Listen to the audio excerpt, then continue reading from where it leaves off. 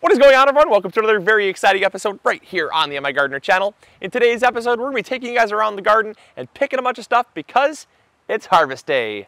Let's go.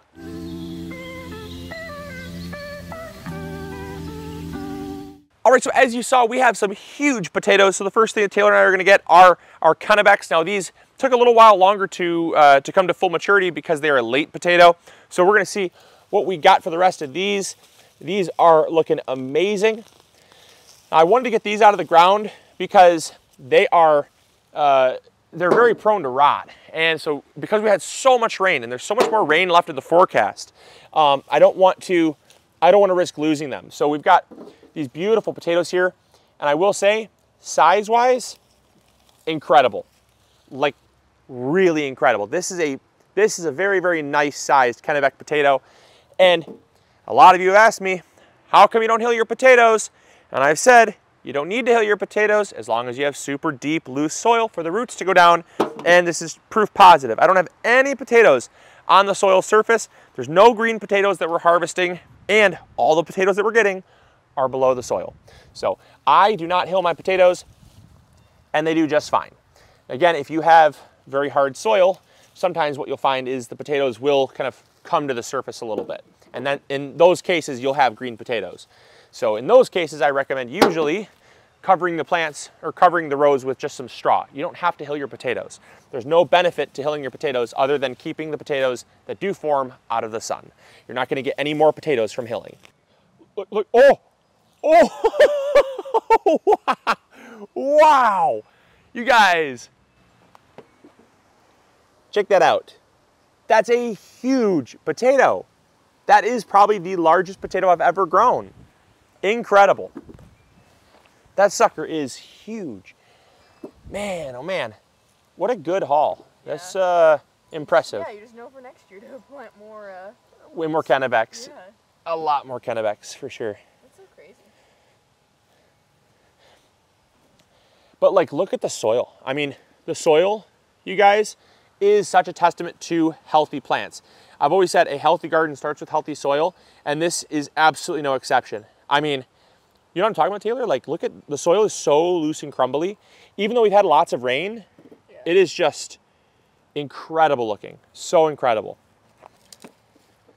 Ooh, that one got a little soft on me though. That's a bummer. How big that one would have been. Probably almost as big as the other one, but we got a little bit of rot on it. It started to get soft. So unfortunately, this one will not make the cut. So let's go into the compost pile in the sky. So, wow. From just two rows of Kennebecs, we filled up an entire wheelbarrow of potatoes. Again, not disclosing how much, uh, how large the wheelbarrow is, but um, that is actually impressive. That's probably, I would say, and it's a shame because that other giant one was probably almost two pounds, two and a half pounds for that one potato. But I think total yield from just two rows was probably somewhere 15, 20 pounds of potatoes. So that's incredible. I mean, truly incredible yield from just two rows. That was only six plants, that's it. So um, 15 pounds from six plants, awesome. So now we got some cucumbers to harvest, some tomatoes to harvest, some cabbage, kale. Let's get going. There's lots to do.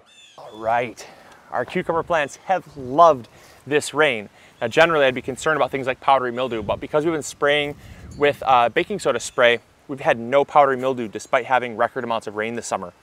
But because of that, the cucumbers are doing incredibly well. We've gotten already probably close to 20 pounds of cucumbers this year, and we just keep getting more. We harvested some yesterday and some the day before that, and we've been getting about three to five cucumbers per day almost. There's just tons of them in here. They just keep forming and they just keep coming. These are the straight eight cucumbers. We also have just over here, I think there's a couple we have to harvest and those are the tender green. I'll show you those. There's a huge difference between the tender greens and the straight eights, but I love them both because they're equally delicious. But these are more of like a pickling cucumber. Also, quick tip, when your cucumbers get like this, this is actually caused from heat or drought. This stress is actually from improper pollination. The cucumber flower was not properly pollinated and so it gets a little bit of a deformity. You want to still harvest it though because if you don't harvest your cucumbers, even when they're small like this, the diameter is what you look for, not necessarily the size. This is another case like this, right? The diameter was telling me and the color was also telling me it was time to harvest. If I didn't get off the plant, it would actually shut down production for this entire plant. So you want to get, you want to pick them, harvest early, harvest often, and that way production stays going. So now we've got our tender greens. These tender greens are one of my favorite cucumbers of all time because they are basically your, your ideal kind of greenhouse cucumber. Here's a perfect example of one. This one is a little small, but I wanna harvest early and harvest often. Check this out. Look at how beautiful that is. Totally spineless. These are such a smooth, straight cucumber. They make awesome cucumbers for things like salads. Um, here's another one, not quite fully ready, but we'll still get it. Look at that, absolutely incredible. They do get longer than that.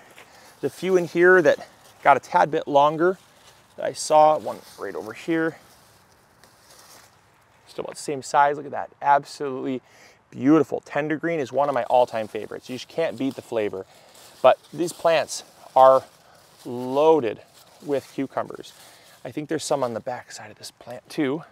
So I think I've got some on the back side of this plant here. Yep, I do. I've got some, some more.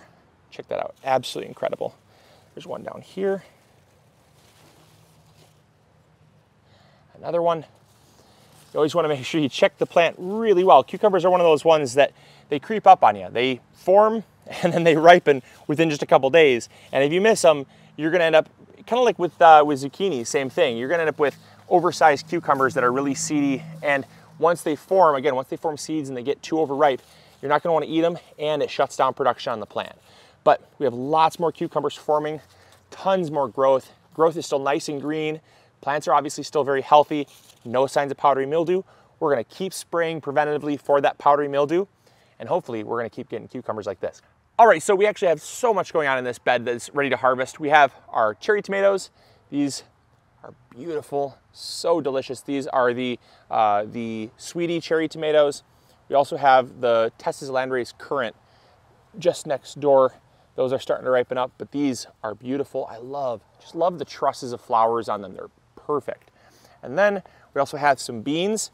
The rabbits have definitely ravaged the green beans this year, so we actually have a fall planting of green beans as well as some pole beans that are hopefully gonna fare a little bit better, but we got some green beans, enough for a consolation snack, but we're gonna be getting a lot more. I'm not worried about it. This was just because we had we had high hopes to have green beans in between each uh, row of tomatoes as kind of an intercropping, but because the rabbits got to them early, it got too hot to plant more. So now that's cooling off, we are planting more, but the ones that survived are producing. So we got some green beans. We also have our Federle tomatoes. Now, because we have some more rain in the forecast, I'm gonna pick these these are huge. Look at these paste tomatoes. Look at this. They're just starting to blush right now, so they are gonna be fine. We're gonna take them inside, finish ripening them up on the counter, but these are massive. One of my favorite paste tomatoes of all time. We've got a couple of those. Gorgeous, gorgeous tomatoes. All right, so check it out. We got our Supernova grape tomatoes. These are so pretty. I absolutely love just the, uh, they look like they're on fire. They have a, a kind of a bicolored yellow-red color to them. They're actually relatively low acid. I love them because they're so great in things like salads or even fresh eating, but they rarely make it in, inside because they're so delicious. But then I also have, they're not ripe yet, we got these beautiful, uh, these, these are the butternut squash. Butternut squash is a variety of squash we've been kind of cultivating out over the past three or four years now. It essentially started as a mutation from a from a um, butternut squash where the neck of the squash got really, really long. And uh, so we actually started saving seeds from it. And we've been breeding out those seeds and we have a ton of them in our garden, but they are absolutely amazing. Really small seed cavity, huge long neck on them.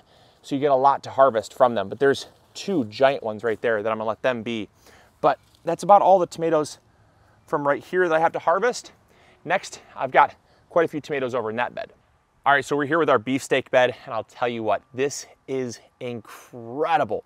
We have over here, this is the, uh, this is the Rosa de Bern, one of my all-time favorite beefsteak tomatoes. It is a Swiss variety of tomato, but so pretty. Really, really love this. It is a tad bit prone to cracking, so even though they're still a little green, I am gonna harvest them because we're supposed to be getting some more rain pretty soon. And this tomato plant has been producing lots of fruit for us. This is just one of, I think, three harvests so far from this plant. This over here, this is the Kellogg's Breakfast. I think we're gonna have a record sized tomato on this plant. I'm thinking it's probably pushing close to two pounds. It is huge. And I also have back here, I believe this is an Ananas Noir or black pineapple. Um, it is ripe, starting to blush, but it's really cat-faced on the bottom. So uh, this one will go in, sit on the counter, and we'll get this one uh, to ripen up on the counter, but it's pretty cat-faced. So sometimes you get that with heirlooms. That's from multiple blooms uh, kind of fusing together.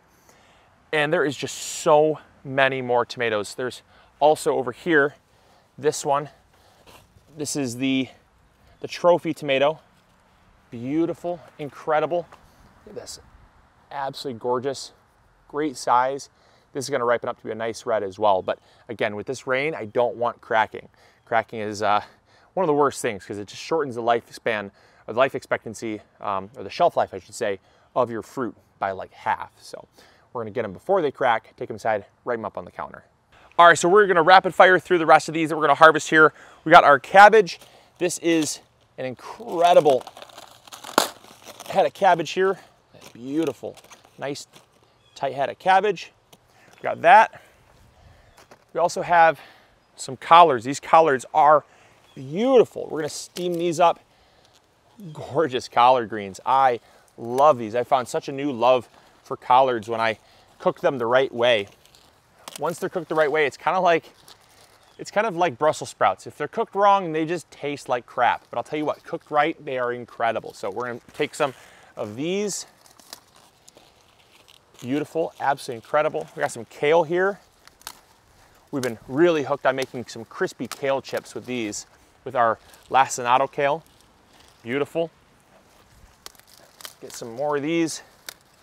Also, we've been drying it in our dehydrator and then grinding it into a, a powder and using it as like basically green supplements for things like smoothies.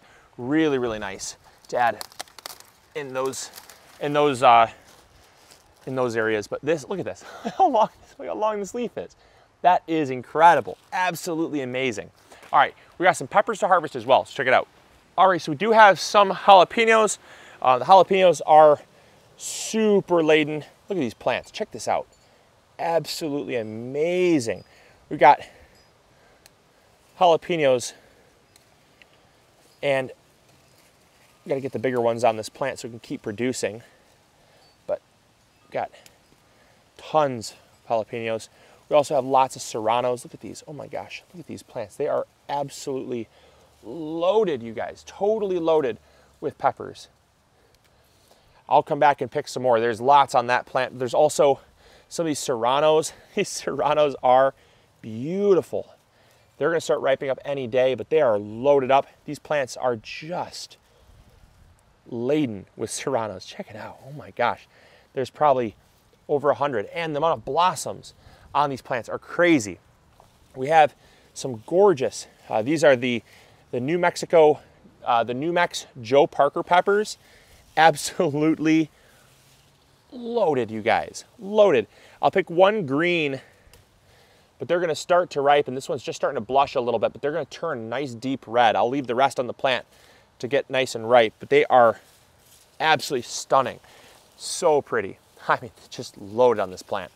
We also have over here the Tabascos. They are not ready yet. Then we also have the, uh, the, the Pequin peppers, and these are not even close to ripe yet, but they have tons. We're talking hundreds and hundreds of itty bitty little peppers on these plants. Check it out, that's incredible. So these are all gonna be ripening up in the next couple weeks, and we're gonna be getting lots. The sweet potatoes are looking nice too. The rabbits keep getting to them. We're gonna have to put some cages around these plants to get them to, uh, to keep growing, but we're really gonna be getting some sweet potato production pretty soon.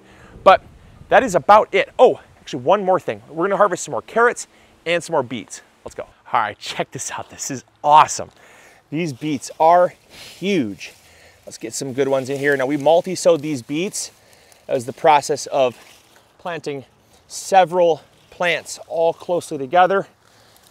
Look at this, absolutely incredible. We've harvested, I would say from these three rows of beets, probably close to 20 to 30 beets, and they are all absolutely stunning. The more we harvest, the more it allows the smaller ones to continue to grow. These are just gorgeous. I'm so happy with how our beets turned out this year. Sometimes they can be a little bit hit or miss. This year was definitely a good year for beets. Also, I wanna get some carrots, but I'm gonna get these beets here. We're gonna roast these up with tonight's dinner. Look how big that one is. Look at that. Absolutely incredible production, you guys. Incredible.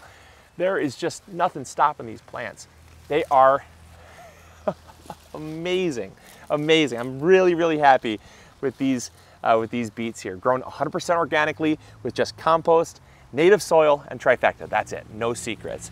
All right, now let's get some carrots. These carrots are gonna be beautiful.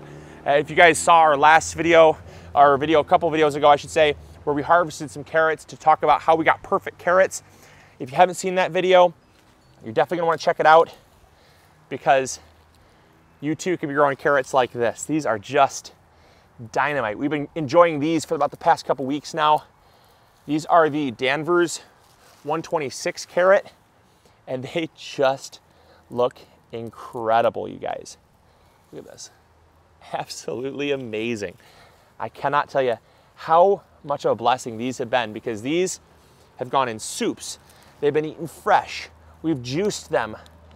We've roasted them. Oh, they are just incredible. These are beautiful. So we are so happy with the carrots this year. Could not be happier. And we're gonna be planting even more for the fall. So we gotta get these harvested because then we're gonna make room for a fall planting somewhere in here. All right, we got two more things that we're harvesting right here. One of them is the Lucullus Swiss chard. This thing is incredible. We have so much of it growing here. And what I love is I love planting it really closely together because what it does is it forces the stalks to get nice and long like this. What we use these stalks for is a celery replacement. I'm actually allergic to celery. I was diagnosed with, with what was called uh, oral allergy syndrome. And basically certain things my mouth just rejects. Things like raw apples, raw carrots, raw celery. Uh, so the carrots were growing for, for the other people in the household, in the MIgardener household, not for me. Um, I could have them cooked, just not raw. But one of my favorite snacks is celery with peanut butter, and I couldn't ever eat it for the longest time until I discovered that Swiss chard has an exact same texture and flavor to celery. So it has the same stringiness when it gets mature as celery does, has the same kind of sweet saltiness that celery has. It is just incredible. It is one of my all-time favorites in the garden. I love it for that. So we got lots of celery. and then we also have some endive here. Check this out, look at this. I already harvested this, but look at this. Beautiful, beautiful endive. Incredible plant. Love the color. Love that, that rosy purple color. Just incredible. So we're gonna take that in. And then one final thing, we got our summer crisp pears coming in. One of my favorite, all-time favorite pear varieties. Check it out. All right, and we have finally our summer crisp pear. Is one of the last things in the garden we have to harvest. And there's so, so many of them up tall in this tree. I'm gonna have to get a fruit picker to get some of these down, but these are incredible. I absolutely love these. These are the best snack you could ever ask for in the garden. Just incredible. So good. This plant or this tree is absolutely loaded. We got some way up there. I'm gonna have to buy a fruit picker to get these down, but wow. This is an A plus pear. One of my all-time favorites. If you've never grown a summer crisp pear, you've got to try it. It feels or it tastes kind of like a cross between a Asian pear, an apple, and a pear. It is so incredible. So I hope you guys enjoyed. I hope you all learned something new. Were inspired to grow some di different things in your garden. If you did enjoy, make sure to hit that thumbs up. Subscribe if you haven't already. And as always, this is Luke from the MIgardener channel, reminding you to grow bigger. Take care. Bye.